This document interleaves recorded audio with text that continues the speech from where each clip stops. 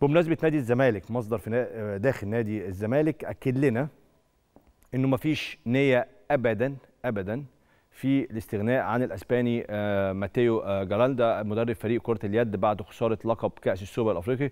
المصدر قال إن المجلس أو عفوا لديه النية لديه النية إنه آه، المدرب يرحل عن الفريق.